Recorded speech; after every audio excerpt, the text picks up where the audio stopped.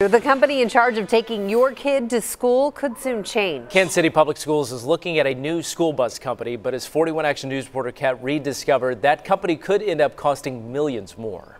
The bids for busing have already rolled in. This is the prime time to start making those decisions so that you are fully prepared for the next school year. KCPS is in talks to dump its current vendor, First Student, and get on board with someone else for an extra $2 million.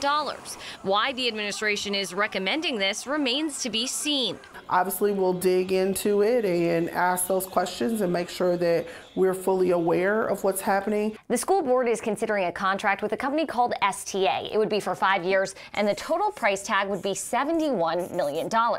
Meanwhile, the company they currently work with, First Student, came in with a bid of $69 million. Based on conversations that I've had with the CFO, it does not appear to be a fair process. John Billigmeyer is a region vice president for First Student. He argues Student Transportation of America, or STA, was able to talk with the district and amend its bid after the deadline. If we're shown that it is a level playing field, we will not contest any further. But at this point, we have questions again about the process. The district wouldn't comment on the allegations, but the school board decided to hold off on voting until February 27th. That way, members of the public can comment comment before the deal is done. This is taxpayer funds, and we have to be transparent.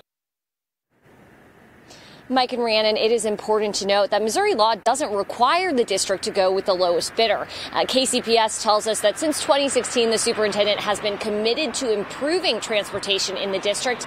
We expect to hear some more details of why this bidder was recommended ahead of the Board of Education's vote on February 27th. Reporting live in Kansas City, Kat Reed, 41 Action News. All right.